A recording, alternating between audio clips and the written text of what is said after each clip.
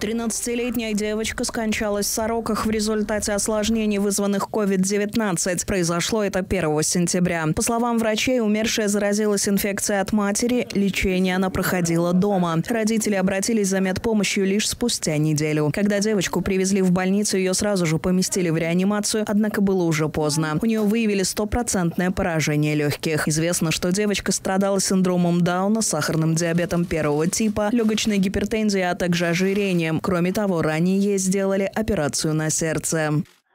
De 30, ее госпитализировали 30 числа, заразилась она 23-го. У мамы был положительный тест 17 августа. Они не были изолированы. Ребенка доставили в очень тяжелом состоянии с сатурацией около 50-60%. Ее сразу поместили в отделение интенсивной терапии.